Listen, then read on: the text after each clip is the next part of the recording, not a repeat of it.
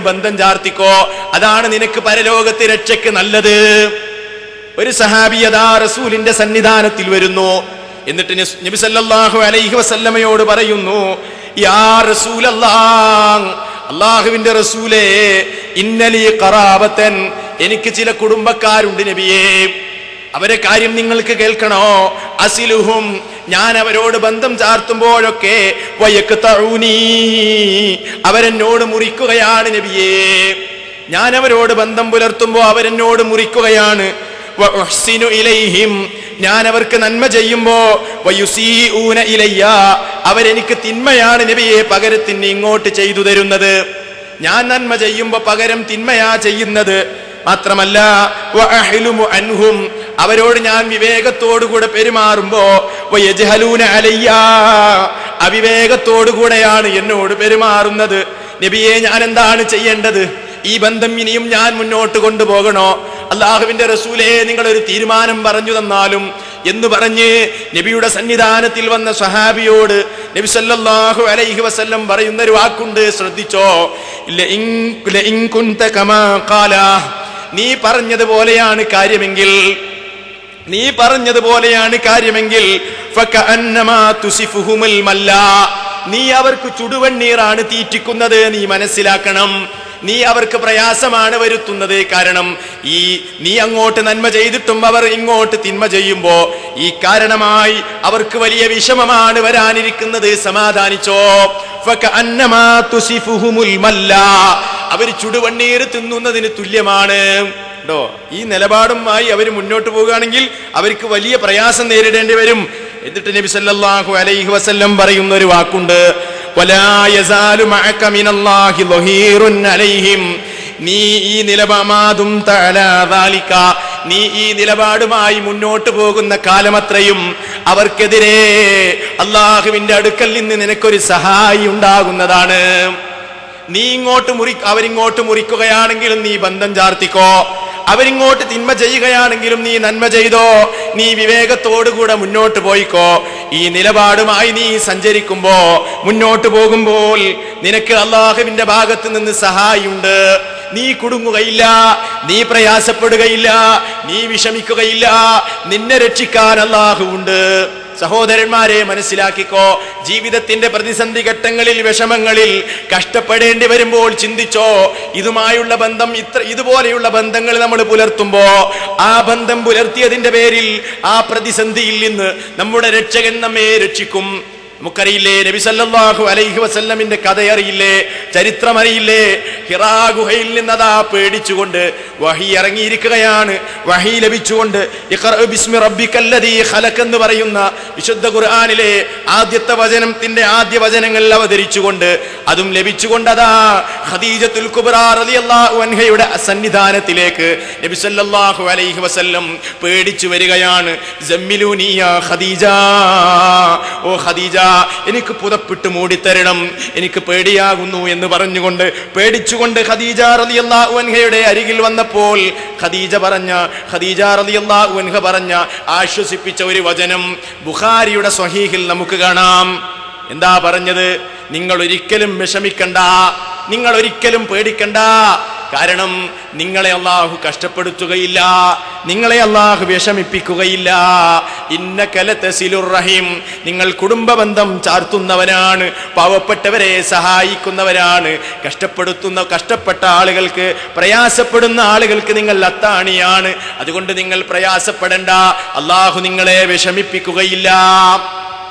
എന്താ മനസ്സിലായത്? ബന്ധങ്ങൾ ചാർത്തുമ്പോ അള്ളാഹു നമ്മുടെ കൂടെയുണ്ട് സഹോദരന്മാരെ. അള്ളാഹുവിന്റെ പ്രത്യേകമായ സഹായമുണ്ട്. നിങ്ങൾക്കറിയുമോ? ചരിത്രത്തിലെ പ്രധാനപ്പെട്ട ഒരു സംഭവം നബ്സല്ലാഹു അലൈഹി വസല്ലമിന്റെ കാലത്ത് നടന്ന പ്രസിദ്ധമായ ഒരു സംഭവം. സൂറത്തുന്നൂർ പരിശോധിച്ചാൽ ആ സംഭവത്തെക്കുറിച്ചുള്ള പരാമർശം ഇരുപത്തിനാലാം അധ്യായം സൂറത്തുന്നൂറിന്റെ ഇരുപത്തിരണ്ടാമത്തെ വചനത്തിൽ അതിനെ സംബന്ധിച്ചുള്ള പരാമർശം കാണാം. എന്താണ് സംഭവം? നബിസല്ലാഹു അലൈഹി വസല്ലമിന്റെ പത്നിയാണല്ലോ ആയിഷ റളിയല്ലാഹു അൻഹ. ഐഷ ബീവിയെ സംബന്ധിച്ച് ചില മുനാഫിക്കുകൾ ചില മുനാഫിക്കുകൾ അപവാദം പ്രചരിപ്പിച്ചു. അങ്ങനെ ആയിഷ ബീവിയെ സംബന്ധിച്ച് അപവാദം പ്രചരിപ്പിച്ചപ്പോ അബൂബക്കർ സിദ്ദീഖ് റളിയല്ലാഹു അൻഹുവിന്റെ മകളാണല്ലോ ആയിഷ ബീവി. തന്റെ മകളെ സംബന്ധിച്ച് ഇതുപോലെയുള്ള ഒരു പ്രചാരണം ഉണ്ടായപ്പോൾ അപവാദം പ്രചരിപ്പിച്ചപ്പോൾ ആ പിതാവിന്റെ മനസ്സ് വല്ലാതെ വേദനിച്ചുപോയി സ്വാഭാവികമാണല്ലോ സ്വന്തം മകളെ സംബന്ധിച്ചാണല്ലോ ഈ രൂപത്തിലുള്ള പ്രചാരം നടക്കുന്നത്. അൻഹുവിന്റെ മനസ്സ് വല്ലാതെ വേദനിച്ചു പോയി ആ സന്ദർഭത്തിൽ അദ്ദേഹം അതാ ഒരു പ്രതിജ്ഞയെടുക്കുന്നു. മുനാഫിക്കുകളിൽപ്പെട്ട ആളുകളാണ് ഇത് പ്രചരിപ്പിച്ചത്. പക്ഷേ കഥയറിയാതെ മുഗ്മിനീങ്ങളിൽപ്പെട്ട ആളുകളും ഇതിന്റെ പ്രചാരകന്മാരായി മാറി. അബൂബക്കർ സിദ്ദീഖ് റളിയല്ലാഹു അൻഹുവിന്റെ കുടുംബത്തിൽപ്പെട്ട മിസ്തഹ് റളിയല്ലാഹു അൻഹു എന്ന് പറയുന്ന ഒരു സഹാബിയും അറിയാതെ ഈ സയീബ് അപവാദ പ്രചരണത്തിൽ പങ്കാളിയായി. മിസ്തഹ് അബൂബക്കർ അൻഹുവിന്റെ കുടുംബക്കാരനായിരുന്നു. ഇത് കേട്ട സന്ദർഭത്തിൽ തന്നെ അബൂബക്കർ അൻഹു അതാ ഒരു തീരുമാനമെടുക്കുന്നു ഒരു പ്രതിജ്ഞയെടുക്കുന്നു. എന്താ പ്രതിജ്ഞ എടുത്തത് ഇനി ഒരിക്കലും തന്നെ എന്റെ സഹായം ഞാൻ മിസ്തഹിന് നൽകുന്നതല്ല. മിസ്തഹ് ഒരു ദരിദ്രരായ സ്വഹാബിയായിരുന്നു സിദ്ദീഖുൽ അക്ബർ അൻഹു പറയുകയാണ് ഇനി ഒരിക്കലും മിസ്തഹിന് ഞാൻ സഹായം നൽകുകയില്ല. എന്റെ സഹായം ഞാനിതാ നിർത്തിവെച്ചിരിക്കുകയാണ്. അതാ അല്ലാഹു സുബ്ഹാനഹു വതആല വിശുദ്ധ ഖുർആനിൽ വചനം അവതരിപ്പിക്കുന്നു അബൂബക്കറേ തീരുമാനം ശരിയായില്ല തീരുമാനത്തിൽ മാറ്റമുണ്ടാകണം വലാ യഅ്തലി ഉലുൽ ഫദ്ലി മിൻകും വസ്സഅ അൻ യുഅ്തു ഉലിൽ ഖുർബാ വൽ മസാകീന വൽ മുഹാജിരീന ഫീ സബീലില്ലാഹ് وليعفوا وليصفحوا ألا تحبون أن يغفر الله لكم والله غفور رحيم ശുദ്ധ ഖുർആാനിലെ ഇരുപത്തിനാലാമത്തെ അധ്യായം സൂറത്തു സൂറത്തുന്നൂറിന്റെ ഇരുപത്തിരണ്ടാമത്തെ വചനം. എന്താ അല്ല പറഞ്ഞത്? അബൂബക്കർ റളിയല്ലാഹു അൻഹുവിനെ തിരുത്തുകയാണ്. നിങ്ങളുടെ കൂട്ടത്തിൽ ശ്രേഷ്ഠതയുള്ള സാമ്പത്തിക ശേഷിയുള്ള ആളുകൾ ഇതുപോലെയുള്ള പ്രതിജ്ഞകൾ ഒരിക്കലും എടുത്തു പോകരുത്. എന്താ പ്രതിജ്ഞ? ഉലിൽ കുർബ. അടുത്ത ബന്ധുക്കൾക്ക് ഇനി നൽകുകയില്ല. ഞങ്ങൾ നൽകുന്ന ഞങ്ങളുടെ സേവനം നിർത്തിവെച്ചിരിക്കുകയാണ്. വൽ സാധുക്കൾക്ക് നൽകില്ലെന്ന് പറയരുത്. വൽ ഫീ അള്ളാന്റെ മാർഗത്തിൽ ധർമ്മസമരം നടത്തിയ ഹിജറ പോയ മുഹാജിറുകൾക്കും ഇനി നൽകുകയില്ലെന്ന് പറയരുത്. നിങ്ങൾ മാപ്പ് നൽകൂ വിട്ടുവീഴ്ച ചെയ്യൂ. നൽകില്ല എന്ന് പറഞ്ഞ് പ്രതിജ്ഞ എടുക്കരുത്. എന്നിട്ടല്ല പറഞ്ഞൊരു വചനമുണ്ട് ഒരു വചന ഒരു വാക്കുണ്ട്. അതെന്താ? അലാ തുഹിബൂന മനുഷ്യരെ അല്ല നിങ്ങൾക്ക് പൊറത്തു തരണമെന്ന് നിങ്ങൾ ആഗ്രഹിക്കുന്നില്ലേ? നിങ്ങൾ ഇഷ്ടപ്പെടുന്നില്ലേ? അല്ല നിങ്ങൾക്ക് പൊറത്തു തരണമെങ്കിൽ നിങ്ങൾ ചെയ്ത പാപം അല്ല പൊറത്തു തരണമെങ്കിൽ നിങ്ങൾ നിങ്ങളുടെ സഹജീവികൾക്ക് മാപ്പ് നൽകാതെ സഹജീവികൾക്ക് വിട്ടുവീഴ്ച കൊടുക്കാതെ നിങ്ങൾ കഠിന മനസ്സുമായി കഴിഞ്ഞുകൂടുമ്പോ അല്ല എങ്ങനെയാണ് നിങ്ങൾക്ക് പൊറത്തു തരുന്നത്? അതുകൊണ്ട് നിന്റെ കുടുംബക്കാരെന്തെങ്കിലും അവിവേകം ചെയ്തിട്ടുണ്ടെങ്കിൽ അവർക്ക് നീ അങ്ങ് മാപ്പ് കൊടുത്തിട്ട് ആ ബന്ധം നീ ഊട്ടിയുറപ്പിക്ക്. മറ്റുള്ള ആളുകൾ എന്തെങ്കിലും നിന്നോട് അരുതാത്തത് ചെയ്തു പോയിട്ടുണ്ടെങ്കിൽ ആ പകയും വെച്ച് നീ ഇനി മുന്നോട്ട് പോകണ്ട. മനസ്സ് നന്നാക്കിക്കോ. അല്ല പൊറത്തു തരണമെന്ന് നിങ്ങൾ ആഗ്രഹിക്കുന്നുണ്ടോ? എങ്കിൽ എങ്കിൽ സഹജീവികൾക്ക് നിങ്ങൾ മനുഷ്യർക്ക് നിങ്ങൾ പൊറത്തു കൊടുക്കണം. വിട്ടുവീഴ്ച കൊടുക്കണം. കടുംപിടുത്തം വേണ്ട. കടുംപിടുത്തമുണ്ടായാൽ അള്ളാഹുവിൽ നിന്ന് പാപമോചനം നിനക്ക് കിട്ടില്ല. നിസാരമാണോ വിഷയം? നിസാരമാണോ സഹോദരന്മാരെ? അള്ളാഹു വിശുദ്ധ ഖുർആാനിലൂടെ തിരുത്തുകയാണ്. പാടില്ല കുടുംബ ബന്ധം മുറിക്കുന്ന ഒരു ഒരു ഏർപ്പാടാണ്. അടുത്ത കുടുംബക്കാർക്ക് നൽകുകയില്ല എന്ന് പറയൽ. അതുകൊണ്ട് സഹോദരന്മാരെ ഗുരുതരമായ വിഷയമാണ്. ഗുരുതരമാണ്. നോക്കൂ നിങ്ങൾ നബി സല്ലല്ലാഹു അലൈഹി വസല്ലം രക്തബന്ധത്തിന്റെ പവിത്രത പറഞ്ഞപ്പോൾ പറഞ്ഞ മഹത്തായ ഒരു വാക്യമുണ്ട്. മഹത്തായ ഒരു വചനമുണ്ട്. സല്ലല്ലാഹു അലൈഹി വസ്ല്ലം പറയാണ് ഇന്ന് നമ്മുടെ സമൂഹം ഒരു വിലയുമില്ലാതെ പൊട്ടിച്ചെറിയുന്ന ഈ ബന്ധമില്ലേ? അതിന്റെ ആ ബന്ധത്തിന്റെ പവിത്രതയെക്കുറിച്ച് ലോകത്തിന്റെ പ്രവാചകൻ എന്താണ് പറഞ്ഞതെന്ന് നിങ്ങൾക്കറിയുമോ സഹോദരന്മാരെ? പ്രപഞ്ചനാഥന്റെ സൃഷ്ടികർത്താവായ വലിക്കുൽ ജബ്ബാറിന്റെ അറിഷില്ലേ സിംഹാസനമില്ലേ? ആ സിംഹാസനവുമായി ബന്ധപ്പെട്ടതാണത്രേ കുടുംബ ബന്ധം എന്നുള്ളത് നബി പറയുകയാണ് അർറഹിമു മുഅല്ലഖത്തും ബിൽ അർശി. കുടുംബ അത് അല്ലക്കത്തുമ്പിൽ അർശി പ്രപഞ്ചനാഥന്റെ സിംഹാസനവുമായി ബന്ധപ്പെട്ടതാണ്. അതുമായി ബന്ധമുള്ളതാണ്. തഖൂൽ ആ കുടുംബ ബന്ധം സംസാരിക്കുമത്രേ. ആ കുടുംബ ബന്ധം സംസാരിക്കും. എന്താ സംസാരിക്കുന്നത്? മൻ വസലനീ വസലഹുല്ലാ എന്നെ ചാർത്തിയവനാരോ? എന്റെ ബന്ധം കൂട്ടിയിണക്കിയവനാരോ? ഈ ബന്ധത്തിന് പവിത്രത കൽപ്പിച്ചവനാരോ? അവനോട് അള്ളാഹുവിന് ബന്ധമുണ്ട്. സുബാനല്ലാ എന്നെ ബന്ധ ഈ കുടുംബ ബന്ധം പറയാണ്. എന്നോട് ബന്ധം പുലർത്തിയവൻ ആരാണോ? അവനോട് അള്ളാഹ്ക്ക് ബന്ധമുണ്ട്. വമൻ കതഅനി. എന്നോടുള്ള ബന്ധം മുറിച്ചവൻ ആരോ? കതഅഹുല്ലാഹ് അള്ളാഹു അവനോട് ബന്ധം മുറിച്ചിരിക്കുന്നു. സഹോദരന്മാരെ നമ്മുടെ നാഥൻ നമ്മളോട് ബന്ധം മുറിച്ചാൽ നമ്മുടെ അവസ്ഥ എന്താണ്? നമ്മൾ പരിഗണിക്കാതിരുന്നാൽ നമ്മുടെ കഥ എന്താണ്?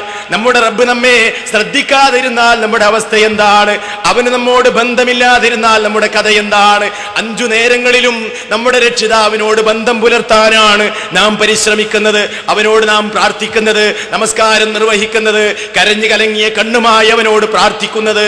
എന്നിട്ട് ഇതൊക്കെ ചെയ്തിട്ടും കുടുംബ ബന്ധം മുറിച്ചിട്ട് അള്ളാഹുവിനോട് ബന്ധം മുറിച്ചാൽ സഹോദരന്മാരെ എന്തുമാത്രം ഭയാനകമാണ്. സല്ലല്ലാഹു അലൈഹി വസല്ലം പറയാണ് അർഷുമായി ബന്ധപ്പെട്ടതാണ്. പിന്നെ വിശുദ്ധ ഖുർആൻ പറഞ്ഞ വേറൊരു കാര്യമുണ്ട് വിശ്വാസവുമായി ബന്ധപ്പെട്ടതാണ് എന്നാണ്. സത്യവിശ്വാസവുമായി ബന്ധപ്പെട്ടതാണ്. എപ്പോഴും പറയാറുള്ള വചനല്ലേ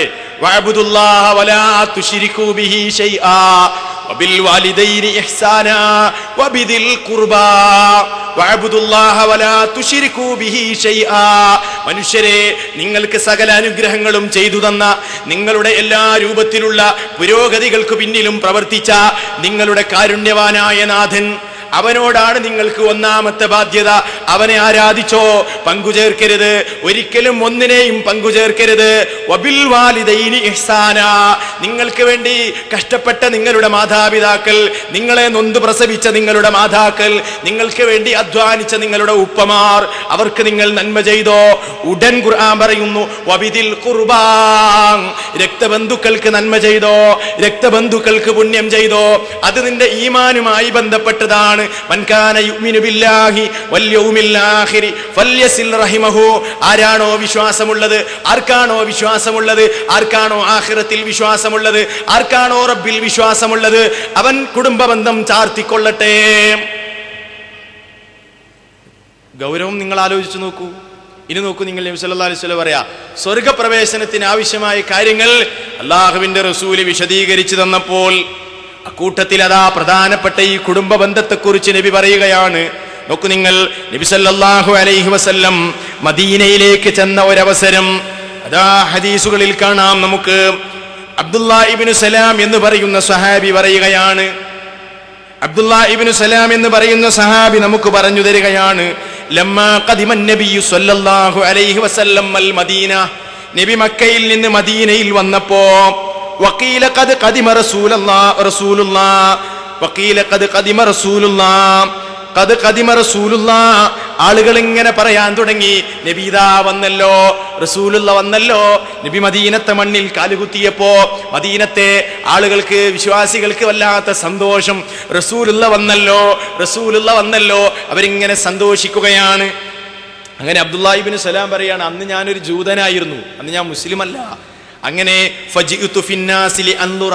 ജനങ്ങളൊക്കെ നബിയെ കാണാൻ വേണ്ടി പോയപ്പോൾ ഞാനും നബി ഒന്ന് കാണാൻ വേണ്ടി പോയി. എങ്ങനെയുണ്ട് നബി? എന്ന് ഈ നബിയെ കുറിച്ച് ഇങ്ങനെ ആളുകൾ പറയുന്നത് കേൾക്കുന്നുണ്ട്.